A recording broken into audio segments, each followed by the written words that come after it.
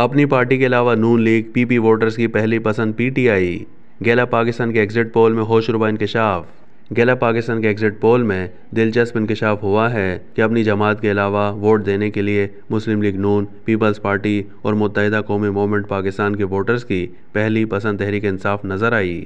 गैला पाकिस्तान के exit poll के मुताबिक नून लीग में सत्रह फ़ीसद अफराद अपनी जमात के अलावा पी टी आई को वोट देने के लिए तैयार हैं। पीपल्स पार्टी 16 फ़ीसद के साथ दूसरे नंबर पर रही। पीपल्स पार्टी के वोटर्स में 27 फ़ीसद पीटीआई सोलह फ़ीसद नून लीग और एक फ़ीसद का झुकाव एम पाकिस्तान की जानब है। एम क्यू एम पाकिस्तान में अक्सरियत यानी अड़तालीस फ़ीसद अपनी जमात के अलावा पी टी आई को वोट देने के लिए राज़ी हैं। इसके अलावा नून लीग को पाँच फ़ीसद, पीपल्स पार्टी को एम क्यू एम के चार फ़ीसद वोटर्स की हिमायत मिली। लेकिन तहरीक इंसाफ के वोटर्स में तीनों जमातों के लिए नरम कोशा न सिर्फ़ कम नज़र आया, बल्कि हिमायत में मजीद कमी आई। 2018 में 19 फ़ीसद, जबकि 2024 में पीटीआई के 8 फ़ीसद वोटर्स नून लीग को वोट देने के लिए तैयार हैं। पीपल्स पार्टी को 21 फ़ीसद के बजाय 8 फ़ीसद वोट देने के लिए राज़ी हैं, जबकि एमक्यूएम को तहरीक इंसाफ के सिर्फ़ दो फ़ीसद वोटर की हिमायत मिली।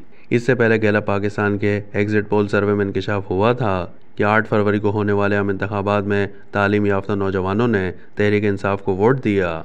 गैला पाकिस्तान के सर्वे के मुताबिक तालीम याफ्ता नौजवानों में तहरीक इंसाफ, जबकि नाखवानदा और मिडिल पास वोटर्स में नून लीग और पीपल्स पार्टी को ज़्यादा हिमायत मिली। पीटीआई के इकतालीस फ़ीसद वोटर्स में 18 से 24 साल के हाई स्कूल या उससे ज़्यादा तालीम याफ्ता नौजवान शामिल हैं, जबकि नून लीग को इस तबके के 21 फ़ीसद ने वोट दिया। सर्वे के मुताबिक, बैचलर और मास्टर डिग्री रखने वालों में 35 फ़ीसद P K voters, Noon league को 15 फ़ीसद और 10 फ़ीसद ने पीपल्स पार्टी को वोट देने का कहा।